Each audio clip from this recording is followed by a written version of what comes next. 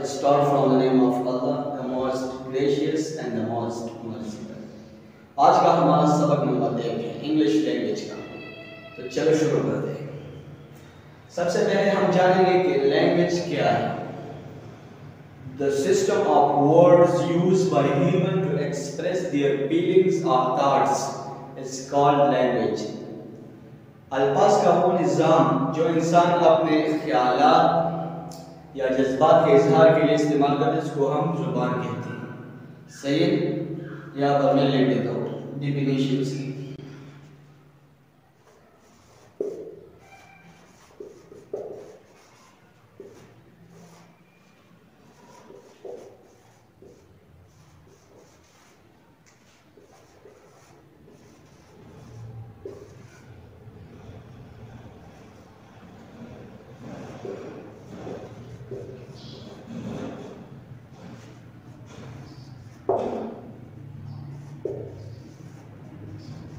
Second,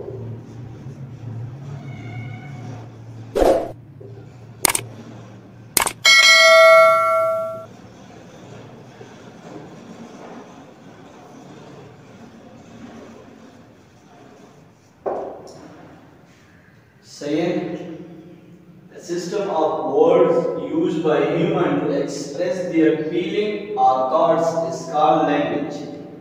ज़ुबान किसे कहते हैं simple language a system of words used by human to express their feeling or thoughts are called language.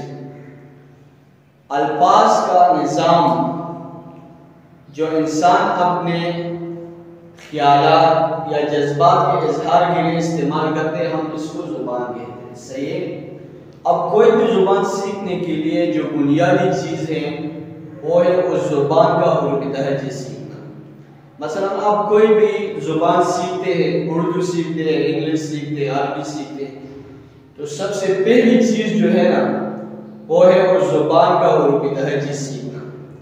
Alphabets, जिसको हम अंग्रेज़ी में अल्फ़ाबेट्स कहते हैं। क्या कहते हैं? अल्फ़ाबेट।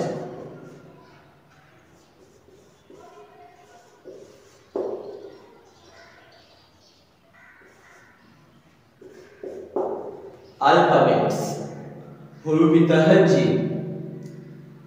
सिंपल, हम इसके लिए इस्तेमाल करते हैं the sound letter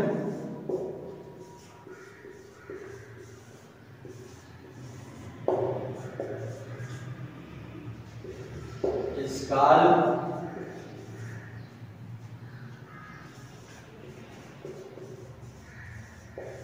alphabets सोती हर के हरूफ को अल्फाबेट्स कहते हैं, सिंबल। अल्फाबेट्स हमारे पास कितने हैं अंग्रेज़ी में? 26 26 A, B, C up to Y, Z. हमारे पास कुल अल्फ़ाबेट अंग्रेज़ी ज़ुबान में है। 26 ठीक है? अब इन 26 में पाँच रूप ऐसे हैं जिसको वॉवल कहते हैं। Vowel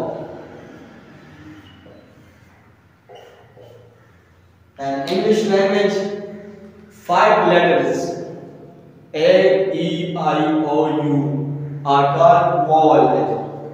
Okay? So, लिख देते हो यहाँ पर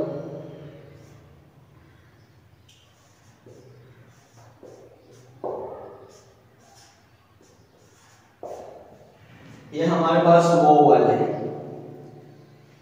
उसके बाद आते हैं कॉन्सोनेंट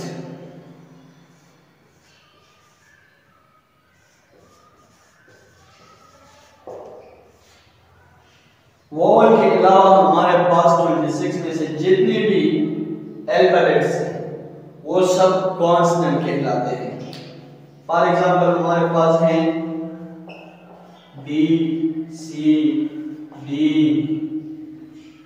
F etcetera ये हमारे पास कॉन्सोनेंट है।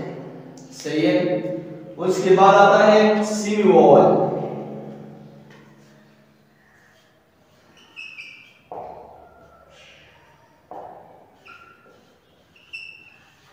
सीमी वोवल वो हरूफ अंग्रेज़ी में जो ना कॉन्सोनेंट हो, ना वोवल हो, वो सी वोवल कहलाते हैं। जैसे डब्ल्यू और वाई सी वोवल हमारे पास दो है।